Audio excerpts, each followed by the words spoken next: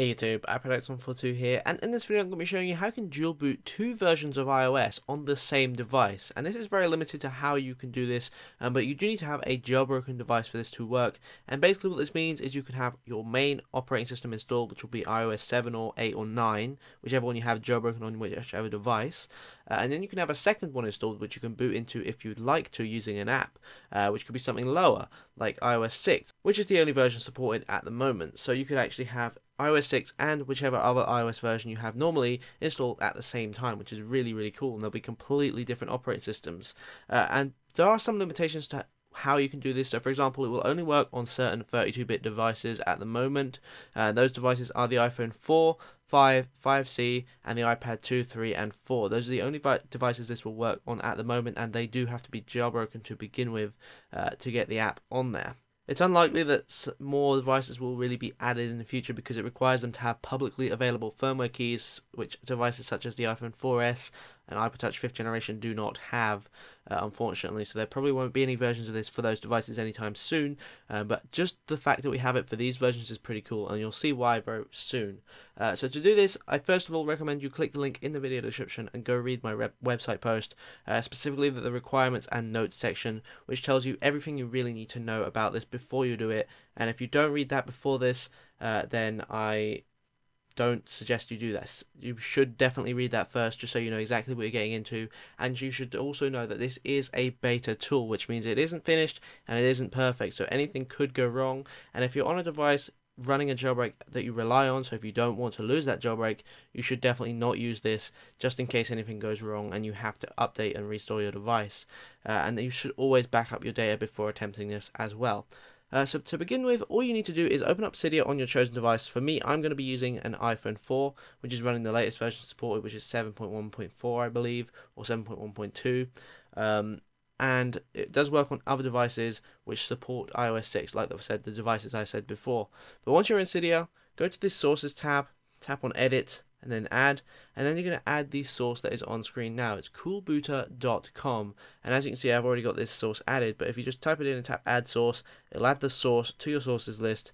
And then once you've added it go into it go into all packages and install the one called coolbooter beta. So tap on that click on the install button in the top right that will be there if you don't already have it installed uh, and then just install it like you would a normal Cydia project. Uh, I then recommend after you do that that you just uh, re reboot your device just to make sure everything is working fine. Uh, but it should work even if you don't do that. It's just a precaution to make sure everything does work okay. Uh, so as you see, once you've done that, you'll get the Cool Booter application icon there. And if I first of all show you here this device, it, just to prove to you that it is running iOS 7.1.2, uh, just a little bit of proof there. But now if we open up the Cool Booter application, you should see this menu here. Uh, the boot option won't actually do anything at the minute since you don't have a secondary operating system installed yet. But if we tap on the install button, we'll get the option to select a destination iOS version, which is the one which will be installed secondary. So as you can see, you can choose anything from 6.0 up to 6.1.3. And we're going to use that one in this example, so just tap on I'm ready. You'll then get two little pop-ups here asking you if you want to jailbreak the operating system first of all, and if you do want it jailbroken at any point, I recommend you do it now because it's quite unlikely that jailbreak tools will actually work for this uh, secondary operating system. They might do, um, but I'd recommend that if you ever want it jailbroken, just select yes now. And the second option is verbose boot. Basically what that means is rather than showing the Apple logo when you boot into the secondary operating system, it'll actually just show strings of text and everything that's happening while the device is booting up. Uh, it's kind of optional, you can have it if you like, but if you just prefer the Apple logo then select no. I'm going to select yes, but you will see what it does later on in the video. And then once you select that, it will start downloading the iOS version from Apple server. So it's just downloading the IPSW file at the minute. Uh, so just let that run through and download it. It will take quite a while. This does take about half an hour altogether, maybe more depending on your internet connection, uh, to actually complete the install process. But once it's downloaded the actual IPSW file, you'll start installing it. Uh, so I'm going to speed this up so you can see the entire process. Uh, if you look at the top, the, the clock at the top of the device, you'll see exactly how long this takes for me on a reasonably good internet connection. So if you have a bad internet connection, it's probably going to take a lot longer to download this. So uh, we're going to speed this up and I'll talk it through when we get to a next stage.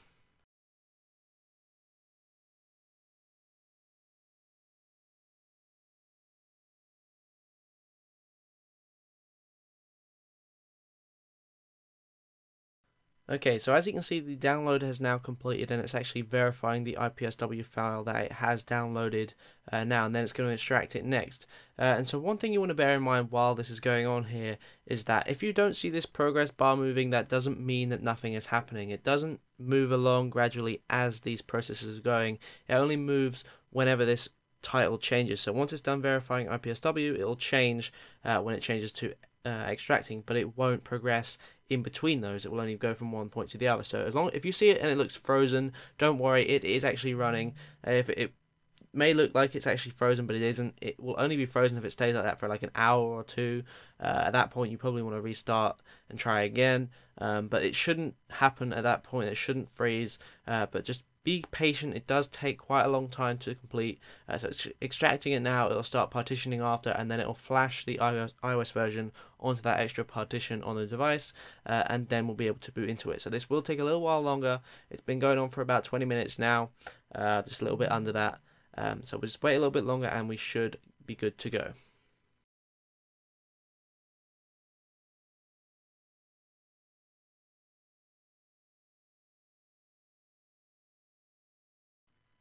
Okay, so as you can see, the install of the actual operating system is actually now finished. It's completely installed. Now it's just jailbreaking it, and that shouldn't take too long. And then once that's done, as you can see, it's now done. Install successful.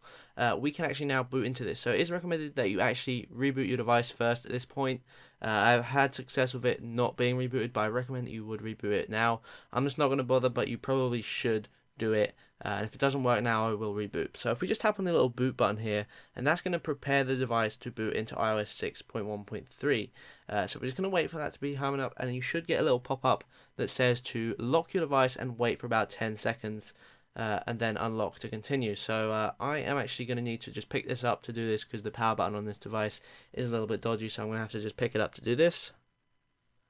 And I'll just lock it and as you can see it's now locked and there's something going on on the screen there but uh, we just give this about 10 seconds and then we should try and unlock it but we shouldn't actually get that far. It should actually reboot uh, and it should boot into iOS 6 so uh, if we tap the home button around about now as you can see it doesn't actually turn on. Uh, we should see the backlight come on and then we will start getting the boot logo if you chose verbose boot off or if you chose like me to have it on it should show you a load of string of text uh, on the home screen uh, when it's booting up. So we just give this a few seconds and it should start doing that uh, if everything worked okay. Uh, so just give it a few seconds. Okay, so I did actually have to end up rebooting the device uh, because it didn't work the first time. So we're just going to try again after I've actually rebooted this and do the exact same thing as we did before. Uh, just wait, tap on boot, wait for the pop-up to come up asking you to lock your device, and then wait 10 seconds. So we'll just do this one more time, and I'll need to just press this home button quite hard to actually lock this. And then wait 10 seconds, for it to come back up. So we just wait about 10 seconds uh, and we should be able to just unlock the device again and then it will actually start booting into iOS 6.1.3.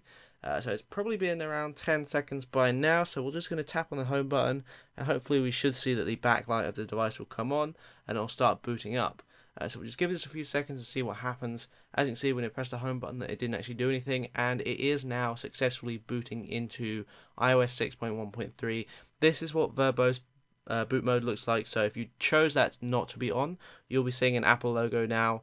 Uh, but if you chose it to be on, this is what you will see for the entire boot up process until we get to the iOS 6 setup screen. So if I just speed this up a little bit while it boots up.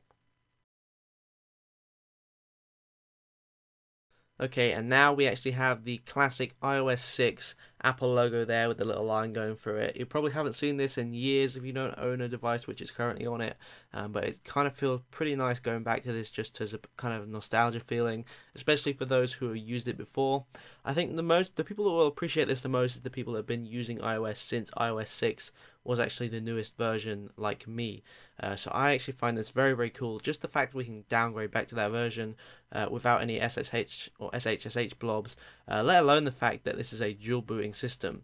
But if we just give this a few more seconds, we should actually come up to the setup page where we can just go through and set up the device like we normally would on any other uh, firmware version, uh, just as a normal device, as if it was new.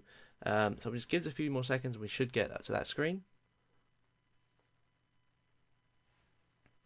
And as you can see, we are now on the setup page for iOS 6.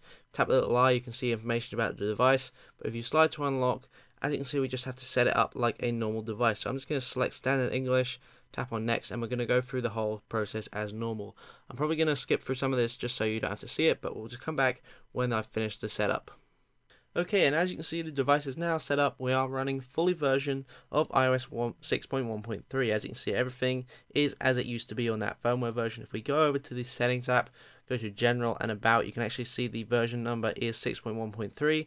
Obviously, the capacity of this 8GB device has been reduced because it's been split in half uh, for the secondary operating system, so it's now 2, which should be around the same for the other one as well. Um, but as you can see, it's got Cydia there, so you can use that if you like. Uh, I don't really want to prepare this right now, but as you can see, it's just going to do that. Um, but uh, as you can see, that is Cydia and everything's there. iOS 6 is fully functional as it would have been uh, when it was new. And if you want to actually get back to your original version, all you have to do is reboot your device. Just turn it off with the power button and turn it back on, and it will boot into your standard operating system. And then if you want to get back to iOS 6, you just go and do the boot option through the um, Cool Boot app uh, and you get back into this version using the same method I just showed you. And so yeah, it is pretty much that simple. If you want to uninstall it, you just click on the uninstall button in the Cool Booter app as well, and it will get rid of it and restore uh, your file system so you'll have more available space. Um, so yeah, that is pretty much it. That's how you do it. Like I said, all the links you need will be in the video description. I will put a link to my post on my website, which has full written guide, which I do recommend you read before attempting this. Uh, and uh, so yeah, that's pretty much it like the video if you liked it, leave a comment if you have any questions, and as always, don't forget to subscribe.